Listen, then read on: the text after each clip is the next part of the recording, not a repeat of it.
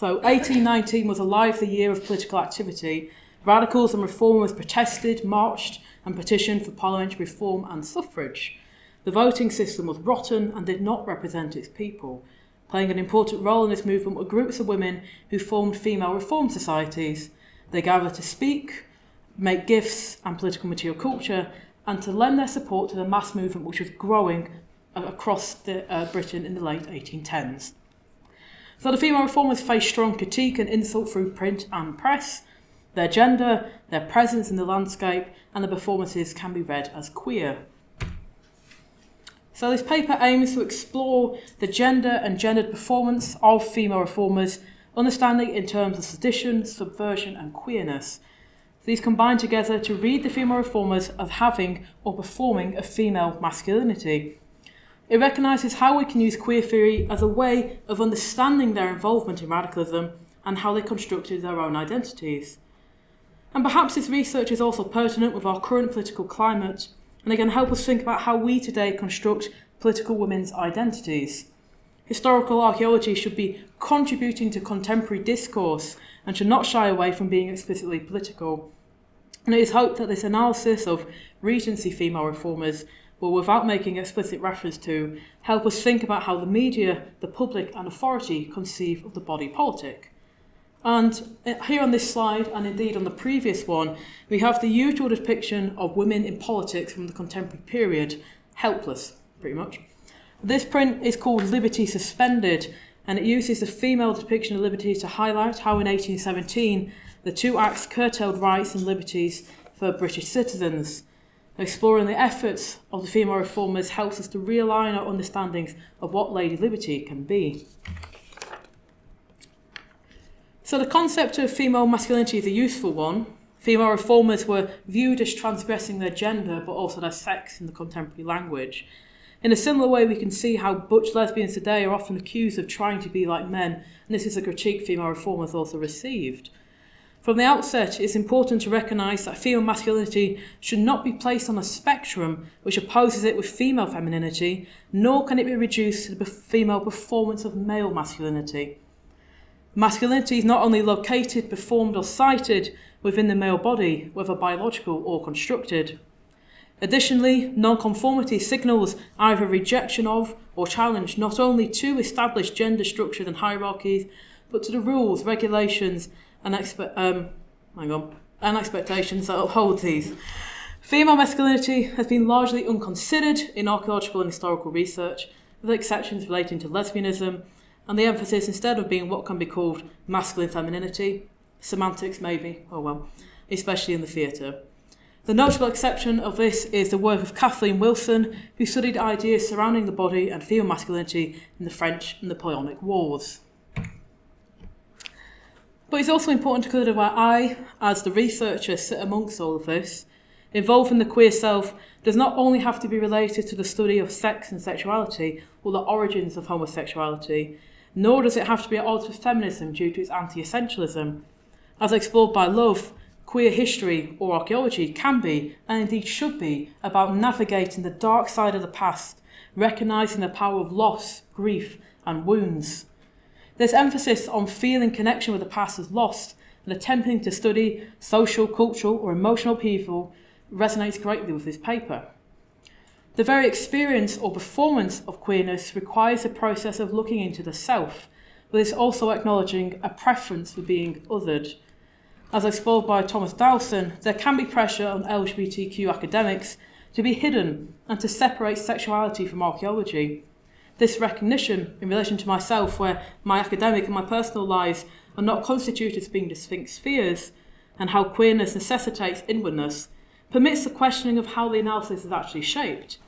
Simply put, does the analysis conceive of female reformers as deviant, othered, or masculine because of my own experiences? And then, does it matter? And it's just going to briefly have an overview of what I mean by landscape in this paper. I use the idea of the sublime, which was a, a contemporary idea in the Regency period.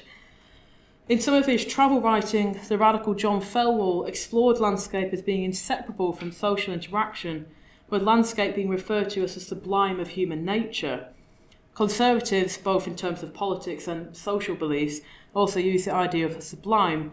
Edmund Burke's argument is also useful as it permits a deeply emotional response that provokes or inspires a moral choice or reaction, not through overpowering terror, but, in his own words, attachment to, awareness of, and commitment to not only objects but also cultures and communities. With this permitting, again in his own words, political acts for a profound sense of his or her limitations, made aware for the experience of sublime external magnitude.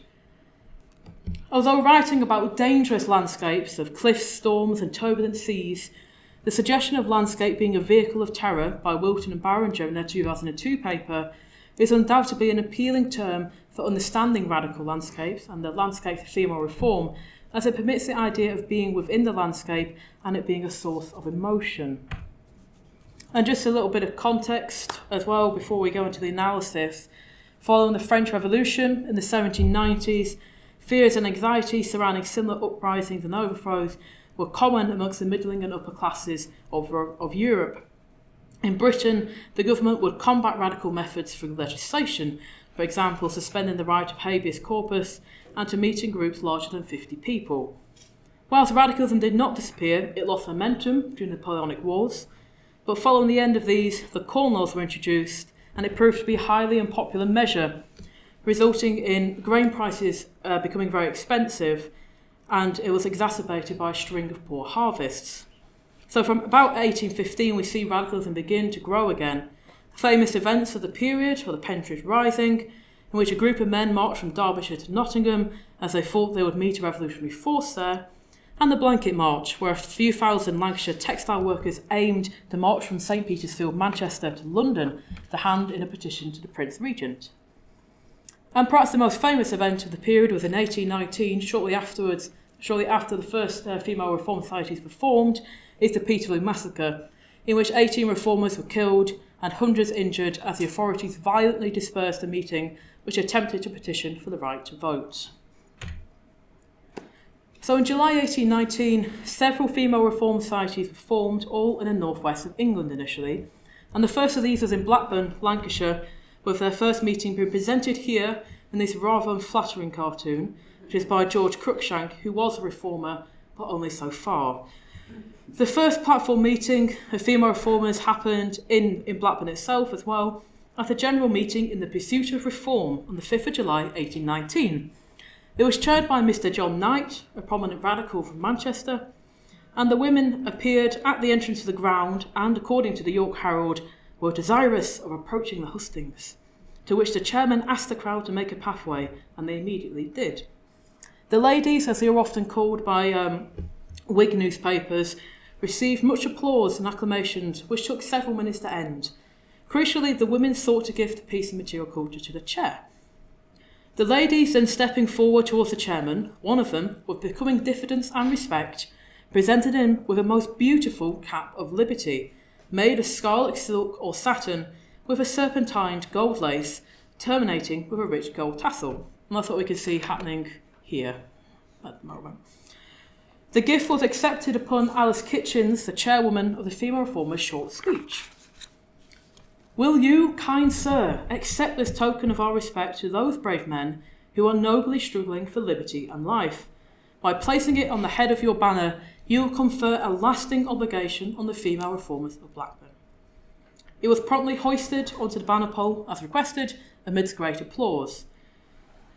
The chairman held the female reformers' address in his hands, and the crowd encouraged him to read it by shouting, Read, read, read, the women forever. And part of the address is apparently as follows. In presenting this cap of liberty, which we trust no ruffian banditti will be allowed to wrest from your hands, we, the female reformers of Blackburn, therefore earnestly entreat you and every man in England, in the most solemn manner, to come forward and join the great union. At the end of the meeting, a series of resolutions were passed, and one of them includes a vote of thanks for the female reformers.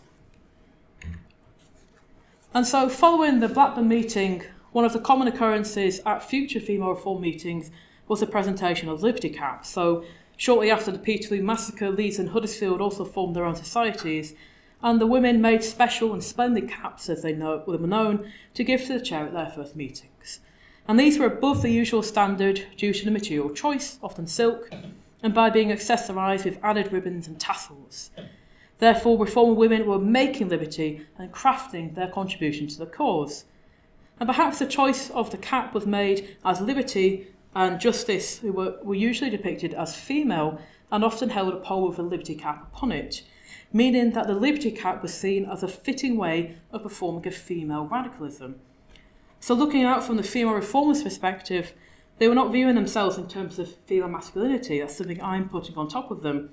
Rather, they were finding ways within the established radical tradition to contribute in feminine ways. This therefore leads to an interesting consideration for my reading of them having or doing a female masculinity may actually align closer to the criticisms and commentary they received, which I will discuss next. So they produced quite the national controversy, their formation. Um, they, Trewman's Exeter Flying Post said, the public scarcely need to be informed that the females are women well known to be the most abandoned of their sex. For this quote, not only highlighting ideas of gender deviancy, but arguing that reformers, especially female reformers, were outside of the public. Cruikshank's print as well, featured here again, highlights several key themes and issues surrounding female reformers, including disgust or horror at women transgressing gender boundaries, questioning their moral character, and questioning the relationship between the woman reformer, family, and offspring, for example, you have one woman here dressed in yellow holding aloft her child, who's depicted as a dwarfish Jacobin, um, to mock in relation to the French Revolution. We can also see sexual deviancy through the placing of the liberty cap upon the pole placed between a male reformer's legs, whilst the leader of the woman states, this amongst here is quite small text unfortunately, will you accept this token of our love and by placing it on your pole. So the use of the word pole plus the positioning of both banner and male reformer have very clear phallic connotations. But we can also see sexuality in the body combining elsewhere too, this time in a different satirical take on female reformers. Much wanted a reform amongst females. Compared to Cruikshank's efforts, fatness does not feature as much, but I'll come to this a bit later. But we do have phallic imagery, uh, with the woman on the far right holding a liberty pole between her legs, whilst the woman next to her is perhaps using her hands to create a piece of vulvate symbolism. The chairwoman who is giving the address is also being mocked through sexual humour and ineptness. I feel great pleasure in holding this thingamabob in my hand. But one of the other ways that they are mocked is by, uh, be, by being considered fat. So, in a wider cultural setting, Forth is argued that the late 18th and early 19th centuries were crucial in the acceleration of the anti-fat sentiment. Women's bodies became excessive, demonstrate the inability to control themselves, and it was a sign of being sexually moral or loose and being impolite. So perhaps the utilisation of fat as a form of mockery links to fears of women taking up too much space in the political arena and landscape and overstepping their gender boundaries. So we can see that in other prints of the time that fat is linked to excess in other cartoons, so especially in relation to the Prince of Wales and Queen Caroline, and therefore Cruikshank was using a recognisable trope. But interestingly, male bodies are also shown in a grotesque manner, but they are normally done in a lighter way, with their bodies being more comparable to normative ones. And so this absence of fat occurs in two ways, uh, either for the normative body or an emancipated body. So, despite being reviled individuals in the conservative press, John Thelwall, Wilkes, Paine, Burdett, and Hunt were rarely, if ever, fattened in the depictions or satire. But for a recurring theme within prints that depicted the French Revolution and Napoleon was the unhealthy thinness of the radicals. Here we have Thomas Rowlandson's Reform Advised, Reform Begun, Reform Complete, contrasting the plumpness of the British with the skeleton frames of the French. So fat can also be a positive trait as well in terms of having an excess of character. Therefore, the female reformers constructed a space that was seen as threatening and it needed to be mocked and devalued. To the outsider and to some reformers, the female reformers were being transgressive with their gender and were having their femininity undermined by being considered fat. But the use of fat towards female reformers is a distinct feature of 1819, meaning that the combination of fat as feminine and women performing male roles produces a female masculinity. So on the 16th of August 1819, groups of reformers from across Manchester and its neighbouring towns marched to St Peter's Field to protest the lack of suffrage, and this became known as the Peterloo Massacre, as I mentioned earlier. On the hustings, just very uh, you can barely see her, um, is Mary Fildes, the chairwoman of the Fem- Manchester Female Reform Society. And Henry Hunt, who is on the hustings, he's holding the hat, that's him there, um, wrote about it in his memoirs, his prison memoirs. We very soon met the Manchester Committee of Female Reformers, headed by Mrs. Fildes, who bore in her hand a small white silk flag. As, though rather small, she was a remarkably good figure and well dressed. It was justly considered that she added much to the beauty of the scene, and as she was a married woman of good character, her appearance in such a situation by no means diminished the respectability of the procession. So we can see that clothing was one way, another way that they uh, used material culture to participate in radicalism in what they considered a feminine means. So again, we have a tension between how the female reformers wanted to be read and how they are considered. This tension or discomfort in itself is queer, allowing for multiple perspectives, viewpoints, and thinking in terms of identities over identity. So it's important to remember that the destabilising impact of the female reformers' performances was also critiqued by women. It was reported with repugnance that women reacted with compassion and disgust equally blended as seeing the march at Peterloo.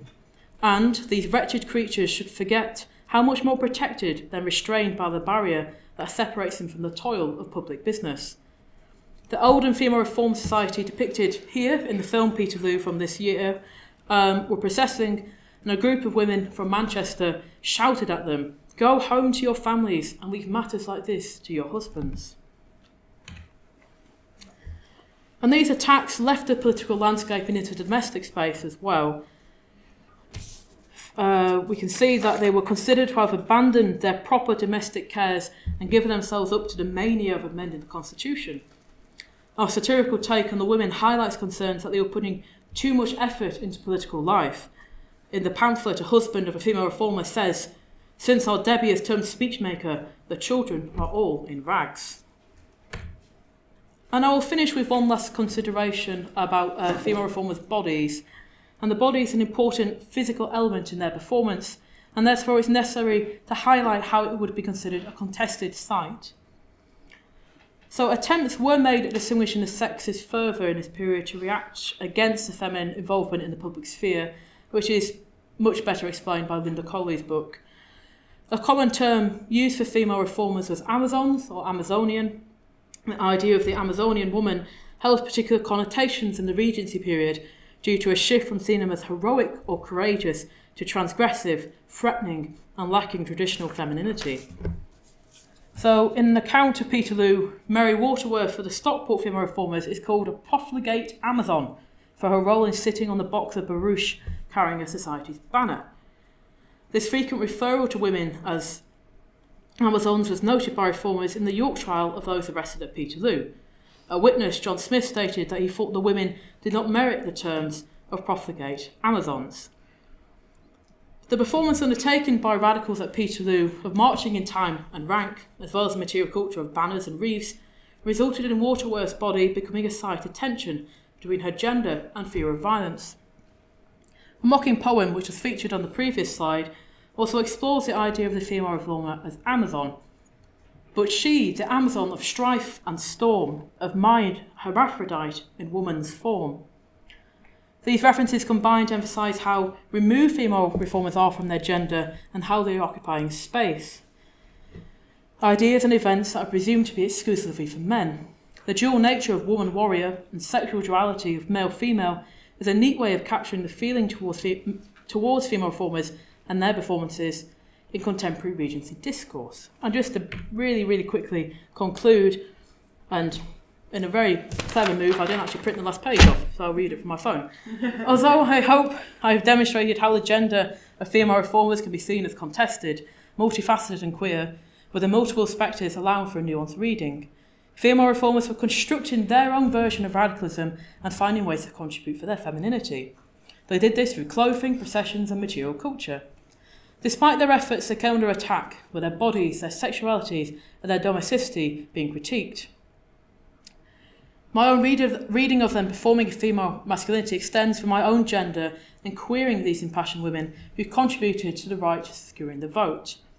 But I just want to finish on the words of Susanna Saxton, who was a secretary for the Manchester Female Reform Society, and I feel like her words actually resonate with our current political situation. From very mature and deliberate consideration, we are thoroughly convinced that, under the present system, the day is near at hand when nothing will be found in our, our unhappy country but luxury, idleness, dissipation, and tyranny on the one hand, and abject poverty, slavery, wretchedness, misery, and death on the other. Thank you very much.